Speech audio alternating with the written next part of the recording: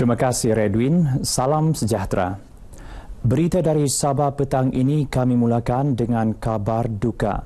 Bekas pengarah Jabatan Penyiaran Sabah, Datuk Haji Jumat alias Engson disahkan meninggal dunia akibat pneumonia di Hospital Queen Elizabeth II, Kota Kinabalu kira-kira 3.45 petang tadi. Perkara itu disahkan isteri Alairham Datin Rita Kisil yang dihubungi pemberita RTM. Jenazah Alairham akan dibawa ke Masjid Bandara Kota Kinabalu di Likas untuk urusan pengkebumian. Pihak kami mengucapkan takziah kepada keluarga Alairham. Semoga keluarga Alairham tabah menerima dugaan ini. Berita seterusnya. Para pesara disaran meneroka bidang keusahawanan sesuai dengan kepakaran dan pengalaman yang dimiliki. Penerokaan bidang keusahawanan bukan sahaja menjadikan pesara terus berjaya selepas tamat perkhidmatan, malah terus menyumbang kepada pembangunan sosioekonomi negeri. Menurut Timbalan Ketua Menteri Datuk Wilfred Madus Tangau, tahun ini sahaja seramai 984 penjawat awam negeri bersara daripada perkhidmatan. Katanya jumlah penjawat awam negeri dijangka berkurangan lebih 5,000 orang menjelang 2022 berdasarkan perkiraan tempoh persaraan wajib penjawat awam negeri ini daripada perjawatan sedia ada. Sehubungan itu, kerajaan negeri komited memantapkan struktur organisasi agensi-agensi negeri menerusi penggabungan fungsi Institut Latihan Sektor Awam Negeri Insan dengan Jabatan Perkhidmatan Awam Negeri. Pada masa sama, kerajaan juga mewujudkan petunjuk prestasi utama KPI bagi penjawat awam untuk memastikan rakyat menerima perkhidmatan awam berprestasi tinggi. Datuk Madus yang juga Menteri Perdagangan dan Perindustrian Negeri berucap sempena Majlis Sekalung Budi seikhlas penghargaan daerah Tuaran, Tamparuli dan Kota Belut di Tuaran. Seramai 115 pesara diraikan dalam majlis ini. Kerajaan terus melaksanakan usaha untuk mengukur perpaduan dan mengelak perpecahan akibat kecelaruan pendapat. Justru masyarakat turut diajak untuk saling hormat dan bertoleransi untuk menjadi masyarakat lebih baik. Menurut Timbalan Menteri Tenaga Teknologi Sains Perubahan Iklim dan Alam Sekitar Mestek Isna Rasah Munirah Majlis, masyarakat wajar mencontohi dan mengamalkan kehebatan ahlak Nabi Muhammad terutama keprihatinan baginda sebagai pemimpin ummah. Katanya transformasi berkonsepkan hormat menghormati dan insaniah yang dilakukan Nabi Muhammad selari konsep Islam iaitu akidah, syariah dan ahlak.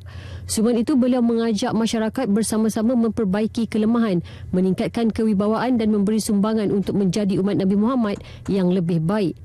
Isna Raisah Munirah yang juga ahli Parlimen Kota Belud berucap merasmikan Majlis Sambutan Malu Rasul Peringkat Daerah Kota Belud 1440 Hijrah 2018 Masihi di Dewan Masyarakat Tun Said Kota Belud. Sebanyak 15 kontijen terdiri daripada Jabatan Kerajaan, Pertubuhan, Masjid, Sekolah dan Kampung sekitar Kota Belud menyertai parakan sempena sambutan anjuran pejabat daerah Kota Belud ini.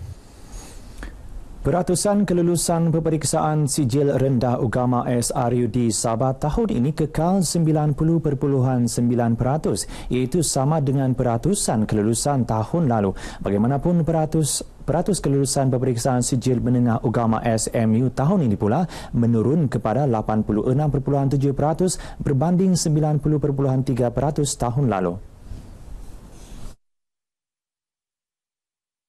Ketika mengumumkan keputusan peperiksaan SRU dan SMU 2018 di Wisma Muiz Kota Kinabalu yang dipertua Majlis Ugama Islam Sabah Datuk Seri Panglima Dr Haji Hasbullah Muhammad Taha bagaimanapun berharap penurunan 3.6% kelulusan SMU itu akan membakar semangat pelajar dan guru-guru untuk mempertingkat prestasi pada tahun hadapan.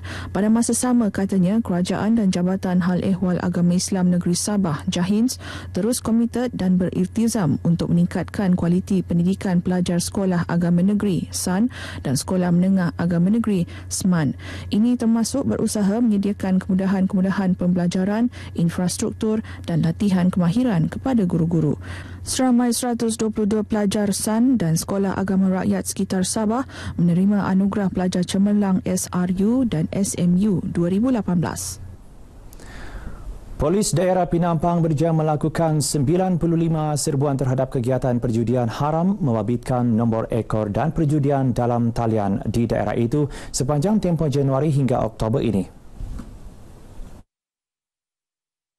Dalam sidang media di Ibu Pejabat Polis Daerah IPD Penampang, Ketua Polis Daerah Penampang DSP Muhammad Haris Haji Ibrahim berkata, daripada jumlah itu 13 serbuan dilakukan sepanjang bulan Oktober lalu dan 12 kertas siasatan dibuka mengikut Seksyen 4A Kurungan A Akta Rumah Judi Terbuka 1953 dan satu kertas siasatan dibuka mengikut Seksyen 4 Kurungan 1 Kurungan C Akta Sama.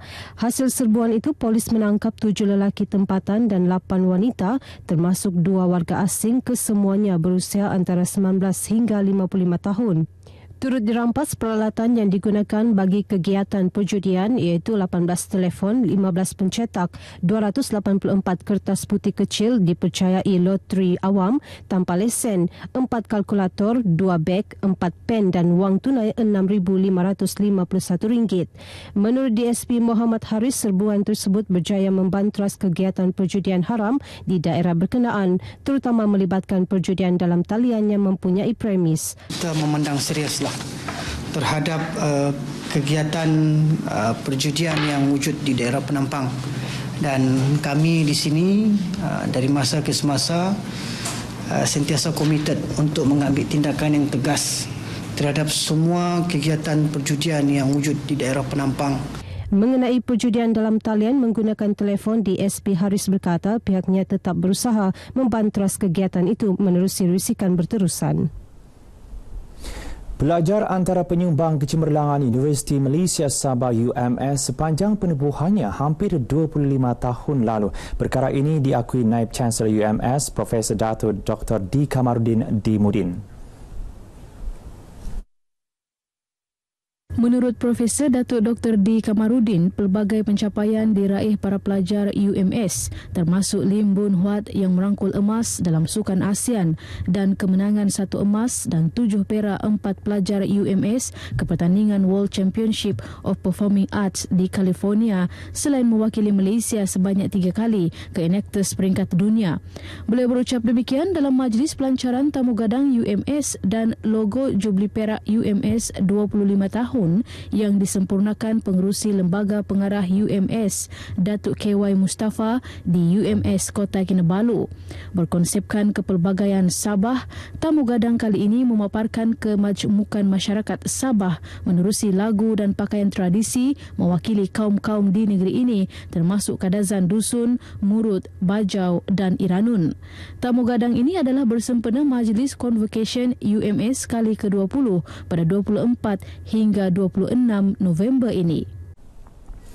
Sekian berita dari Sabah untuk N5 petang ini. Kembali kepada Redwin di Angkasa Puri. Silakan. Terima kasih Adrian Soedi untuk laporan dari